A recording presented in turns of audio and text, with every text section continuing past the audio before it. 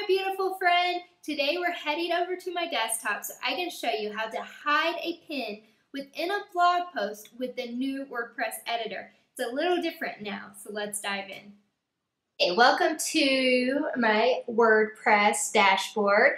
I am in the post that I want to add, to add the pins to. And if we scroll down to the bottom here, you can see that I have this HTML code.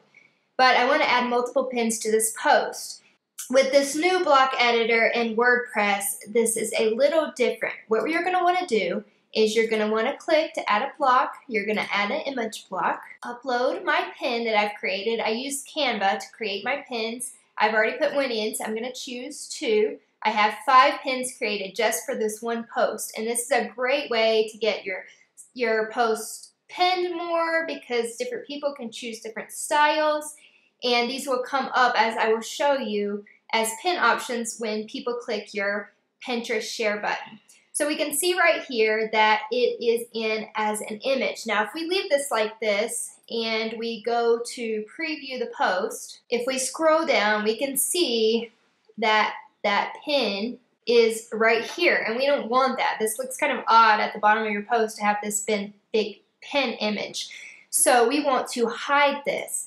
But with this new editor, it's a little different than the old editor. So what we're going to do is we're going to click these three dots here and we're going to edit as HTML. And you can see by the pin that I've already hidden down here, here is the code.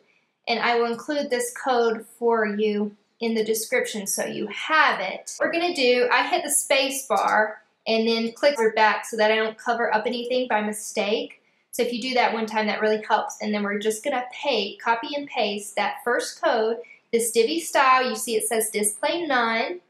And then you want this little code here at the end, this code here.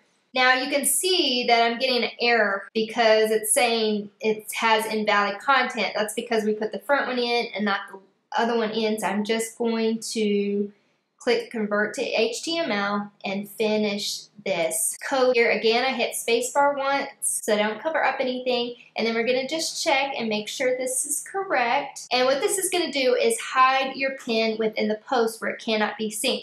Now, I already knew how to do this in the old editor, but when I was trying this in this new editor, it was not working for me. I was copying and pasting the code and it wasn't working. So in case you run into that problem, you may want to check. An issue with mine was these, these quotation marks right here were the curved kind instead of the straight kind.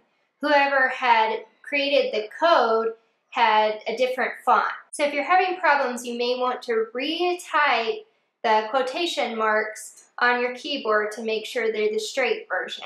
When you're finished with that, you're going to hit the update, going to go to preview, and we're going to scroll down to the bottom and see if this worked. As you can see, we now just have my signature. There are no pins showing, but we want to test and make sure that the pins are available. I use SumoMe for my social media sharing buttons, and I'm just going to click on the Pinterest one. You can see the two pins that I've hidden are right here and right here. I have three more pins and I'm just going to go ahead and put those in the same way. Again, we're just going to quickly add a block, image. I'm going to upload my pin. There it is. I'm going to click the three dots. I'm going to edit as HTML.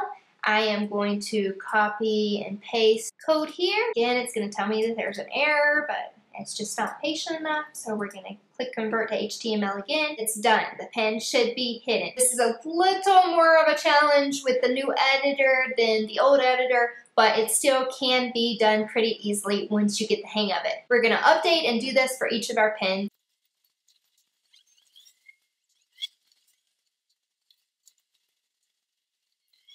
You can see none of the pins are down here. Let's hit that Pinterest share button and we see that all five of the pins I created for this post are now available. If you found this tutorial helpful, the thumbs up button and I'll see you next time.